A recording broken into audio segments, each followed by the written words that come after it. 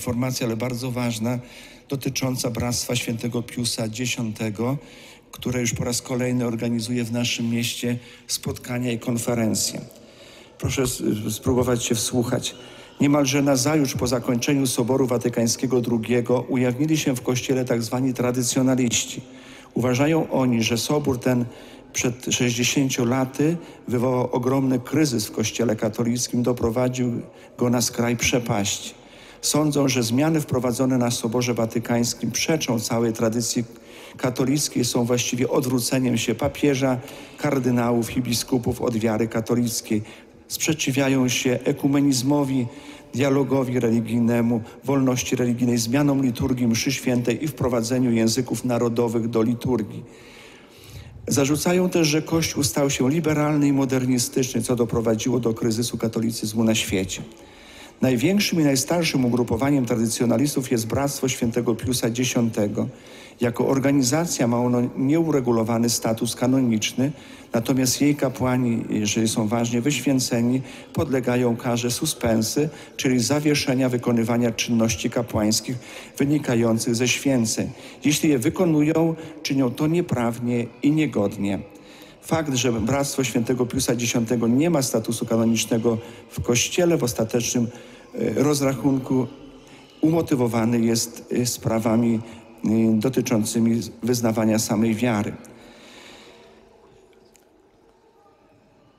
Papieże święty Jan Paweł II, Benedykt XVI, Franciszek ze strony Kościoła katolickiego wiele uczynili, by doktrynalnie zbliżyć bractwo do Kościoła.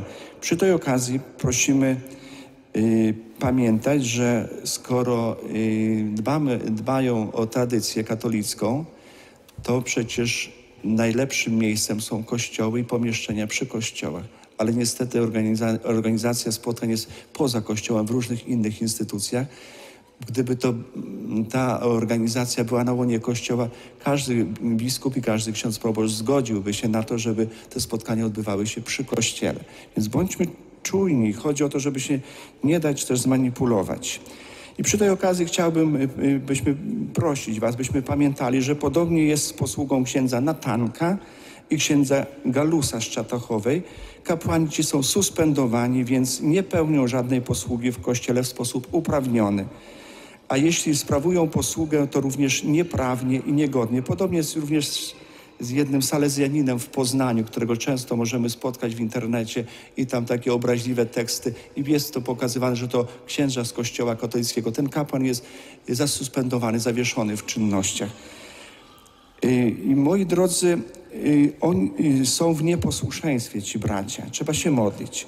Ten sposób nie tworzy się odnowy czy nowych dzieł w Kościele, które przez wieki powstawały i powstają dzisiaj. Że jakieś nowe dzieło, nowa gałąź w Kościele powstaje, nigdy nowy założyciel nie buntuje się przeciwko Kościołowi, przeciwko biskupom, przeciwko papieżowi bo jest to nieposłuszeństwo. I sympatyzowanie czy popieranie przez nas tego typu zachowań, czy korzystanie z ich posługi jest wchodzenie w nieposłuszeństwo Kościołowi.